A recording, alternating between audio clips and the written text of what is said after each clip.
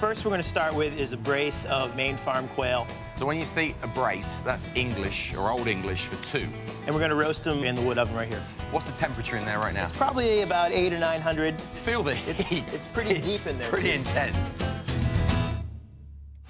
So, we're gonna start with what? What we're gonna put with the uh, quail today is we're gonna make a pretty simple end of the Right. summer vegetable succotash.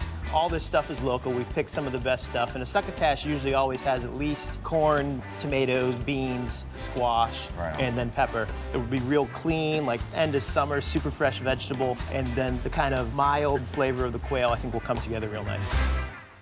Let's get on with the succotash. We're gonna do it all separately because, you know, you could just put it all in there together and cook it off at once. We're gonna cook everything separately just right. So what we're we doing with the uh, the corn? Is that just We're just gonna shuck off? it, and we're gonna roast it real quick. The sugar content of this corn is so high, we're gonna barely put any oil on it and then put it in a real hot pan. The beans we're just gonna pick and blanch and shock, you know, so they're nice and snappy. I like that crunch that you hear when you, that as you say, that snap. And then the next thing is zucchini summer squash here. That is the deepest yellow It is I uh, have ever seen. It's like a fluorescent canary yellow. It is, isn't it? The deeper, the darker the colors, the better they are for you.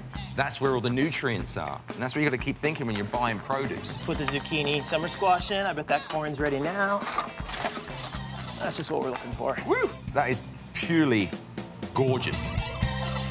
So those are about where we want them. You know, they're just cooked. You need a little crunch, Yeah, as we say. Yeah, we got a couple different type of peppers, and we'll do that similar to everything else. We'll Yeah. roast them on their own and season them up pretty good. And next, we'll do uh, some tomato here. So generally, if you want to take the skin off a tomato, you drop it in a little bit of boiling water, you blanch it quickly, and the skin basically just comes off. I like to just kind of skin them with a knife. This is a trained professional. Be careful Say at that home. now. So now it's time for the bird. We're gonna bring the two birds out. We're gonna truss them up, coat them in a little bit of garlic oil. Beautiful. Season them light, a little bit of herb, and then we'll put them about halfway up the oven. All right, our uh, quail's about ready to deglaze. Nice. Look at that. And watch that. Boom. It sort of rehydrates, and it really starts creating your sauce. We deglaze, we'll put that in the oven to reduce.